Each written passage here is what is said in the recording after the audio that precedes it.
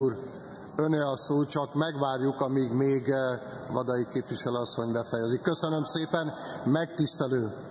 Parancsoljon frakció. Köszönöm szépen a szót, tisztelt elnök úr, tisztelt képviselőtársaim. Eh, hadd kezdem úgy, hogy eh, az ókori Kínában élt egy filozófus, aki sok bölcsességet hagyott ránk az emberiségre, Lao Tse-nek hívták, aki egy bivaj hátán, az írások szerint legalábbis egy bivaj hátán járta be az ókori Kínát azért, hogy lassan haladva meglássa a lényeget, az értéket a rohanás helyett és a kapkodás helyett. Ő maga azt hagyta hátra többek között, hogy a nyugalom a mozgás irányítója.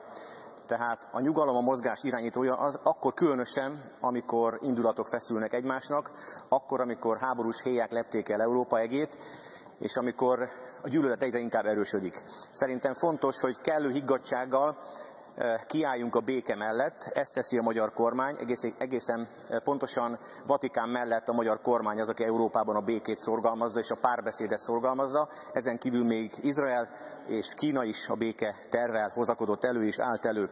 Én azt hiszem, hogy ezekre figyelnünk kell, és ezt látnunk kell, ezzel szemben látjuk, hogy háborús hangulatot szítanak egyesek, Brüsszelben és máshol, baloldali politikusok és liberálisok.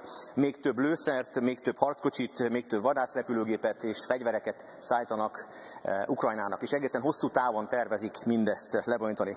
Sőt, most a napokban megjelent hír, hogy az Egyesült Királyságban szegényített urán tartalmú lőszereket fognak szállítani majd Ukrajnába az ukrán hadsereg megsegítésére.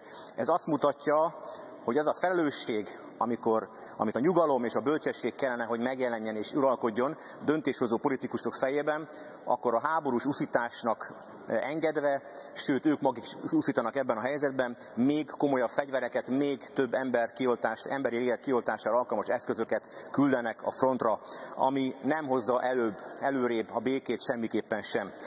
Tisztelt képviselőtársaim, Sokan már a harmadik világháborúról szólnak és írnak. Többek között Kissinger maga, aki azért mindenképpen a biztonságpolitikában óriási névnek számít aggasztják eh, azok a hírek, amelyeket lát a háború kapcsán.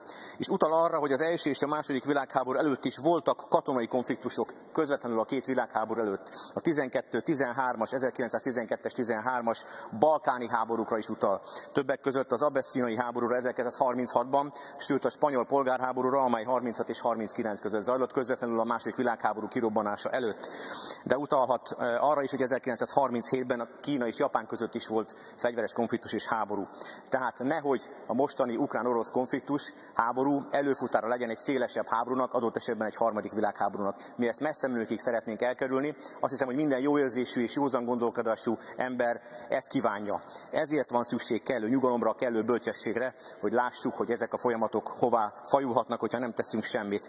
És akkor kérdezhetnénk azt itt nyugodtan a ház falai között, hogy ha már van béketerv, és Kínában is megfogalmaztak, Vatikánban is béketervet az orosz-ukrán háborúban, akkor hol van az Egyesült Államok béketerve? Hol van Brüsszel béketerve? Nem látunk ilyet. Háborús forgatókönyvet látunk inkább, nem béketervet. Ahelyett, hogy a békét előre hoznánk, párbeszédet sürgetnénk a felek között, és mindenki mindent megtenne a maga erejéből, hogy ez bekövetkezzen mielőbb, hogy ne halljanak meg értelmetlenül emberek, ukránok és oroszok és mások is ebben a szörnyű testvérháborúban.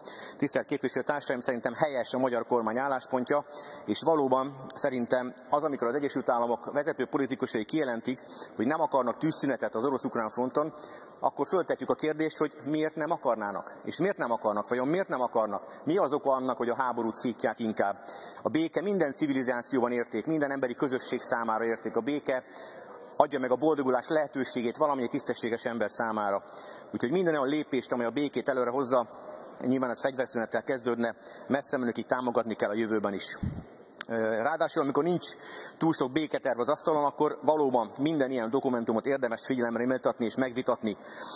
Én azt hiszem, hogy, hogy e szerint kell a jövőben eljárnunk. Tisztelt képviselőtársaim, hát számos olyan téma van még, ami nyilván megvizsgálva az, hogy a szankciós politikához kik milyen módon csatlakoztak. Azért azt kell, hogy mondjam, hogy, hogy Körülbelül 40 ország van, aki a szankciós politikát támogatja Oroszországgal szemben. Mondjuk 150 ország meg látja, hogy ennek semmilyen értelme nincsen. Nem olyan régen kint jártunk Latorca Jánossal, Bala Mihályjal az Interparlamentes Unió közgyűlésén. Az orosz-ukrán háború, Voda Jágnes is kint járt, igen, bár ő háború párti, de mi nem támogattuk a háborút. Alapvetően viszont sajnos tényleg azt kell, hogy mondjam, ez most Európa számára a legnagyobb probléma.